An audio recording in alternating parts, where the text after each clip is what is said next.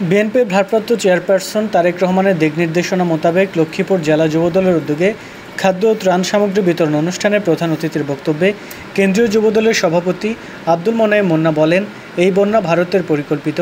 বাংলাদেশের মানুষের সাথে শত্রুতা করেই বাঁধ খুলে দিয়েছে তারা। রবিবার দেশের চলমান বন্যা পরিস্থিতি মোকাবেলায় লক্ষ্মীপুর জেলা যুবদলের আয়োজনে রায়পুর পৌর বাস স্ট্যান্ড এলাকায় রায়পুর উপজেলা ও পৌরসভায় পানিবন্দী ছয় হাজার পরিবারের মাঝে খাদ্য ও প্রয়োজনীয় ত্রাণ সামগ্রী বিতরণ করা হয়। লক্ষ্মীপুর জেলা যুবদলের আহ্বায়ক রেজাউল করিম লিটনের সভাপতিত্বে এতে প্রধান অতিথি ছিলেন কেন্দ্রীয় যুবদল সভাপতি আব্দুল মোনায়েম মোন্না। বিশেষ অতিথি ছিলেন যুবদলের কেন্দ্রীয় সিনিয়র সহসভাপতি রেজাউল করিম পল।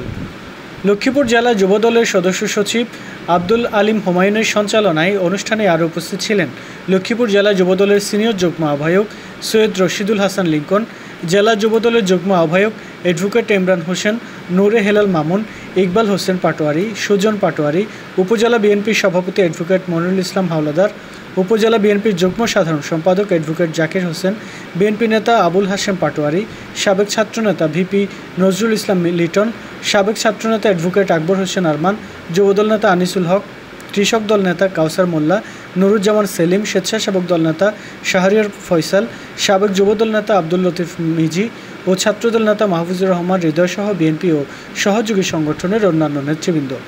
জেলা যুবদলের খাদ্য ত্রাণ বিতরণ এবং কেন্দ্রীয় নেতার আগমনকে ঘিরে সাবেক ছাত্রনেতা অ্যাডভোকেট আকবর হোসেন আরমান এর ডাকে ঝড় বৃষ্টি উপেক্ষা করে রায়পুর উপজেলা ও পৌরসভা থেকে খণ্ড খণ্ড মিছিল সহ রায়পুর বাস স্ট্যান্ডে গণজামায়াতের সৃষ্টি হয়। y por qué sacar.